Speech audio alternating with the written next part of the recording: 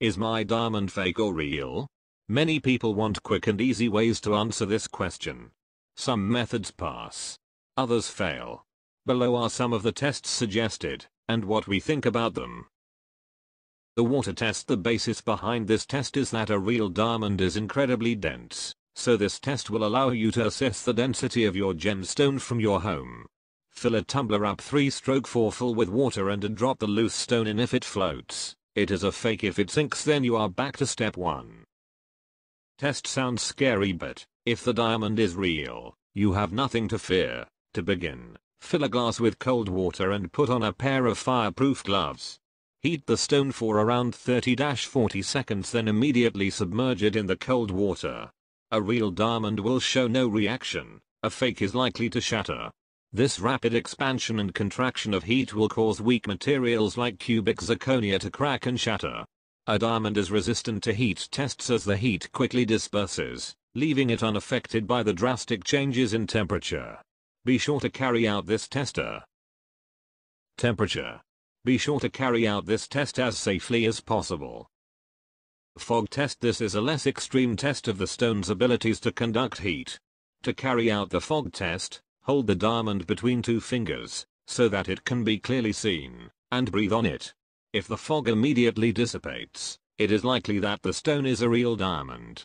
If the fog remains for several seconds, it means that the stone is not effectively conducting heat and is a fake. UV light test If you have been researching certification and diamond quality, you may have heard the term fluorescence. This describes the phenomena of a diamond emitting a blue glow when viewed under UV light. This glow can range from faint to very strong.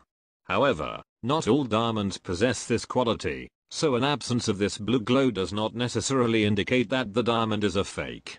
It's a fun test, but not the most conclusive. Read-through test The newspaper test, or read-through test, is one of the ways you can test reflectivity, a diamond's ability to bounce, bend and refract light. Place the stone upside down onto a newspaper over the lettering in a well-lighted area. Be sure that there are no shadows being cast over the stone or the newspaper. If you are able to read the letters, even if there is a slight blur, the stone is fake. A real diamond will refract the light in multiple directions from its various facets.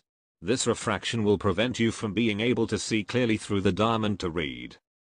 The lettering. Dot test The dot test also examines the refractive properties of a stone. Draw a small dot on a piece of white paper with a pen. Lay the stone flat side down over the dot and ensure the area is well lit with no shadowing. Through the pointed end of the diamond, look down to the paper. If you can see the dot reflected inside the gemstone and it is circular, the diamond is fake. If you cannot see the dot, nor a circular reflection, it is likely that the diamond is real. Like the newspaper test, the powerful refractive properties of a natural diamond will allow the light to bounce in different directions, and this is why you will not see the dot through the diamond. The sparkle test The sparkle test is a bi form of testing your diamond. This is pitched as a great way to gain a better understanding of the optical properties of a diamond as well as helping to indicate whether or not the diamond is a genuine, natural diamond. A lab-grown diamond will be the same as a mined diamond. Hold the diamond beneath a light source, such as a lamp, and examine how the light reflects off of the diamond. Is there a white, blinking quality to the diamond? Scintillation? Are there also reflections of rainbow light? We covered diamonds for these properties, and taking the time to examine this will give you a lot of information about the stone.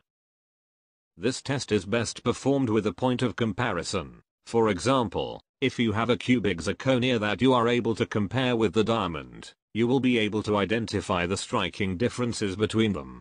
This test is not foolproof. A badly cut diamond that is heavily included and has a low color grading will not give the distinctive sparkle that expect from a diamond, and so the untrained eye may find it harder to identify these optical properties. Similarly, the quality of synthetic diamonds has improved greatly over the years, meaning that a diamond novice may be deceived. What about the scratch test? Perhaps one of the best known myth tests to see if a diamond is genuine is to scratch it against a mirror or piece of glass. This method tests the hardness of one material against another and is based on the Mohs scale, the scale upon which minerals are graded in terms of hardness. Unfortunately, this test is not accurate. Glass measures at 5.5 on the Mohs scale. That means that anything with a higher score can scratch it. Materials such as quartz, moissanite and cubic zirconia all rank higher than glass, meaning that they too would leave a scratch. It is also known Orban said that you can use an own diamond to destroy any fake except a synthetic diamond. But if you do that you also take the risk of scratching a real diamond with a real diamond.